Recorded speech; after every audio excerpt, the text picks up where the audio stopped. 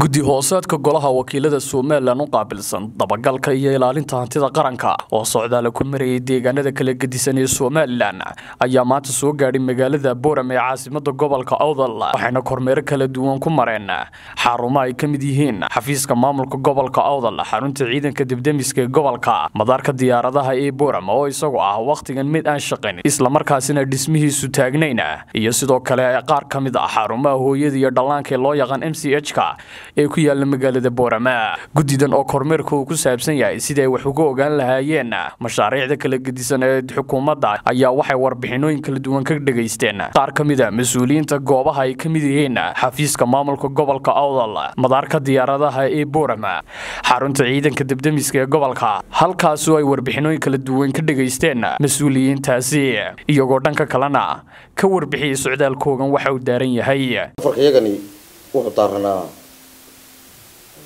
waa xisaab xidhkiibaa golaha wakiilada hor yaalla labada kun iyo labaatankii.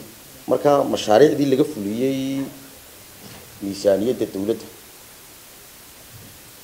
ayuu guddigu qiimeynayay.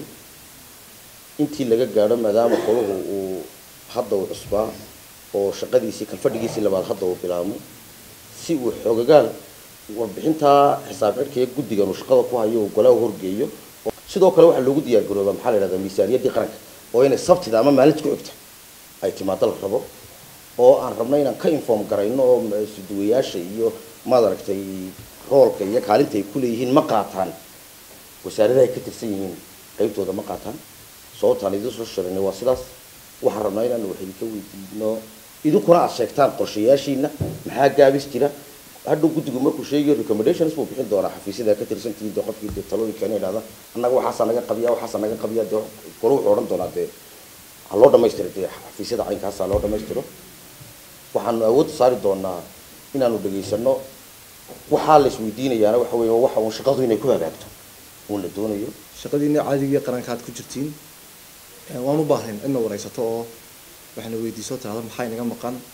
Maxaa inaga qabyo ah runtii gobolku mid buu iskaga leeyahay dhaqanoo hoos buu yar hadlaaye kor uma hadalno marka insha allah waxaan aad isku dayanaa maanta inaan kor u hadalno idhaahno haddana xildhibaano cusub ay yimaadeen.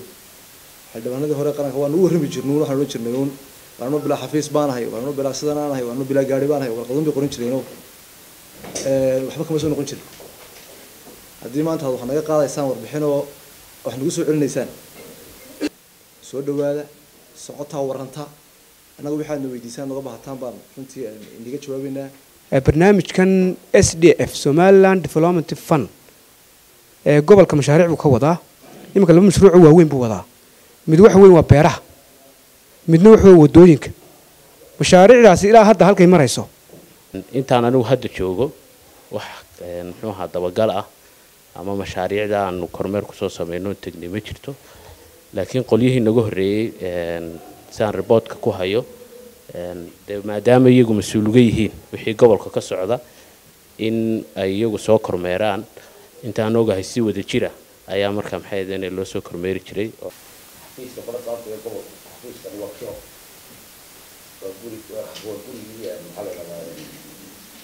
Gobol ka mida gobollada ugu muhiimsan ee dalka.